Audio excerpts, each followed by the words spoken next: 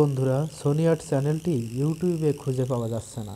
অনেকের প্রিয় এই চ্যানেলটি, তবে কি সোনি আর্ট কর্তৃপক্ষ নিজেরাই বন্ধ করে দিয়েছে, নাকি ইউটিউব চ্যানেলটিকে সাসপেন্ড করে দিয়েছে? অনেকভাবে সার্চ করেও কেউই সোনি আর্ট চ্যানেলটি খুঁজে পাচ্ছে না। এর কারণ কি? জানাব বিস্তারিত।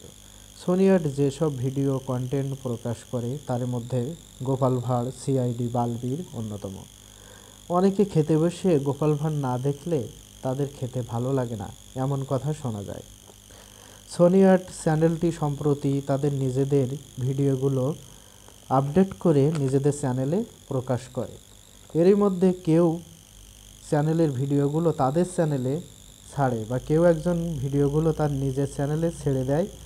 সোনি আর্ট কর্তৃপক্ষ যখন এই ভিডিওগুলো আপডেট করে নিজেদের চ্যানেলে ছাড়তে যায়, তখন কপিরাইট ক্লেম করে। মনে করেন Sony Aath channel Gopal Bhar CID ইত্যাদি ভিডিওগুলো আবার ছাড়তে যায়, তখন কেউ কপিরাইট স্ট্রাইক করে। কেউ কপিরাইট স্ট্রাইক দিয়ে চ্যানেলটিকে বন্ধ করে দিয়েছে। কে বা কারা এই কপিরাইট স্ট্রাইক দিয়েছে তা এখনও জানা যায়নি। তো বন্ধুরা এইভাবে মনে হয় কপিরাইটের আওতায় এনে চ্যানেলটাকে বন্ধ করে দিয়েছে। বন্ধুরা, আমরা কোনো রকম আপডেট পেলে আপনাদের জানাব।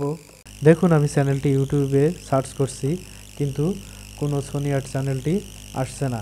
যেগুলো আসছে, এগুলো সবই ফেক এই দেখুন, একটি সোনি আর্ট চ্যানেল মাত্র আড়াই হাজার সাবস্ক্রাইব এটি আসলে ফেক আইডি এরাই সোনি আর্ট চ্যানেলটিকে স্ট্রাইক দিয়ে বন্ধ করে দিয়েছে।